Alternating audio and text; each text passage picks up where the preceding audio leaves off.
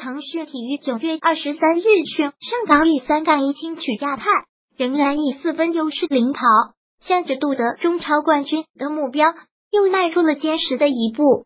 下一轮，上港将客战国安，谋求连胜，将对手彻底踢出争冠集团，也将成为上港的目标。中超整体七胜一平，上港向首冠全力冲刺。上港上一次遭遇到失利，还要追溯到八月五日时，当时上港客场以零比一不敌一方。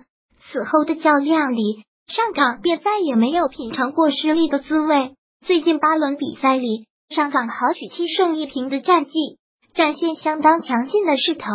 这亦是令上港向着夺取中超首冠的目标大踏步的冲刺。周中的补赛里，上港在引人注目的天王山战役里，以二比一的比分力克恒大，拿到了宝贵的胜利。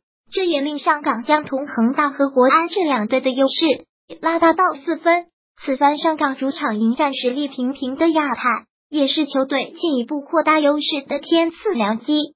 尽管胡尔克在这场比赛里轮休，但上港的整体实力依然碾压对手。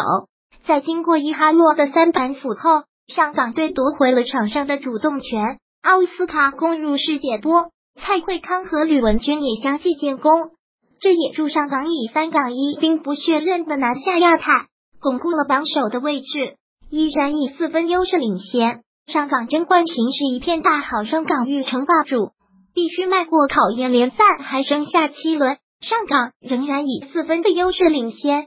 这也令上港牢牢的掌握着夺冠的主动权。相比于身后不容有失的恒大，上港存在着一定程度犯错的空间。但上港主场拿下亚太毕竟是常规操作，接下来上港便要迎来更加严峻的考验。下轮比赛里，上港便将负攻击迎战国安。要知道，上港主场时便曾以一比二不敌国安，此番在战遇邻军也不容有失。否则很有可能会被恒大破进。第二十八轮时，上港又将赴天体挑战恒大，届时很有可能是决定冠军走势的决战。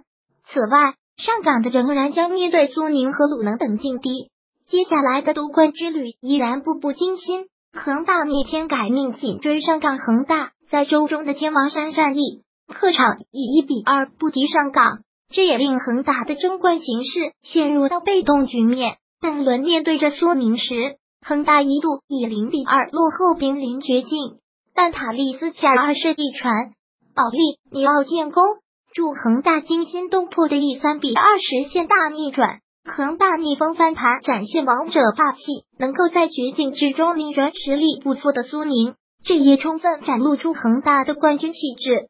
作为七连冠的王者球队，恒大又怎能允许早早的被踢出冠军争夺战呢？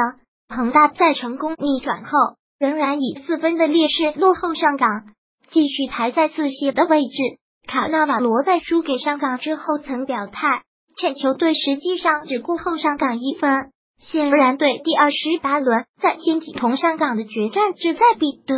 恒大已经同国安、鲁能和苏宁等对手过招，剩余的赛程远好于上港，这也将是恒大争冠的关键。国安与上港一役，相当于背水一战。国安攻体难，不像上港真没戏了。在上港和恒大相继胜出后，排在第三的国安却掉了链子，出人意料的以二比三不敌副班长贵州，首先掉了链子。这场比赛的失利也令国安已经落后领跑的上港队七分，夺冠前景已经愈发的严峻。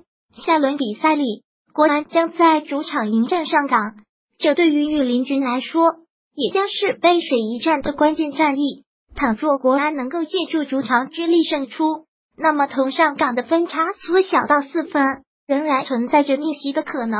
倘若国安无法赢球，仍然落后上港七分甚至十分，那么中超争冠希望也将彻底破灭。